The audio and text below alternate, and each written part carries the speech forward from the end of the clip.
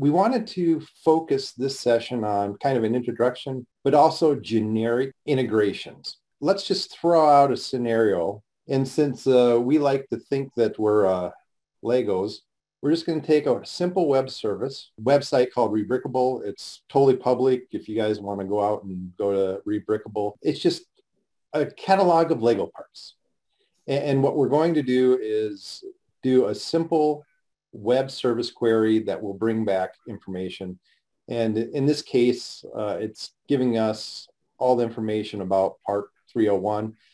Uh, but the, the call that we'll make will bring back a bunch, and then we're going to show how to display that with within Appian. All right, so in the design environment, uh, we would create a new interface object. An interface object is one that calls a web service. You can name it whatever you want to name it uh, and put it anywhere in the server you want. So for this particular rebrickable example, I've already pre-baked one with the interface. So in Appian, calling web services is straightforward. Uh, you have fields to enter all the information as far as the URL of the web service you want to call, what kind of security you need to put on it, what method you're going to use for that web service call, query parameters, uh, any kind of headers you need to put in it, and the response. So I parameterize this so that if I want to, I can actually insert which particular part that I'm going for. Rebrickable is returning just one result, and it's telling me information like this particular part was built from 1979 to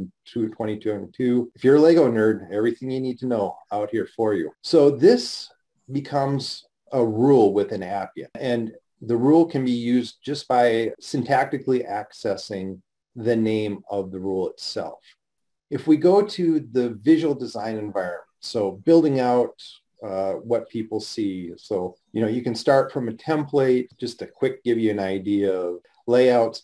These layouts you can do um, for, you build it once and you write it anywhere. So if you're interested in what this looks like on, say, a phone, this is what it will automatically look like with no extra development whatsoever. Really nice having the performance of building two environments uh, at the same time. Go back to starting from scratch, going and grab a, a read-only grid. And a read-only grid will allow me to display information such as like a query from a database. If I have a two-dimensional data in a variable, I can display that. I'm going to use an expression. And the only reason I don't use a rule is I want to actually scope into the expression. There's parts of the return that I don't want to know, like the status code 200, you know, that's not important. I don't want to display that. Let's edit this.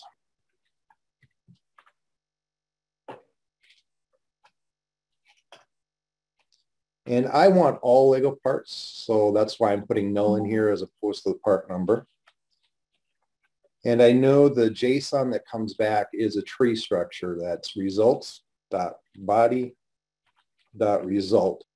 So here's the result from that query, comes back. And there's stuff here that we don't need. So we can use the graphical environment to say, uh, I don't need this particular field. But I do know that there's a part image and, and I want to see the actual image as opposed to the text. So I can go into the display options of this column and say I want the web image as opposed to um, the text. Quite simple to query information, bring it back and visualize it with an app. Appian is low code, so we're trying to get rid of all the complexity around things like uh, uh, integrations. So typically when you're working with a Java programming language, the JSON that comes back is this huge block of textual code. And then it's your responsibility to use some kind of library to parse it out so that you can get the information that you want. Um, you know, it, it's always a, a, a, troublesome experience for every developer to have to go through this anytime you want to do an integration. And uh, Appian has handled that right out of the box by changing it into um, a data type that's e- easily scopable within the product.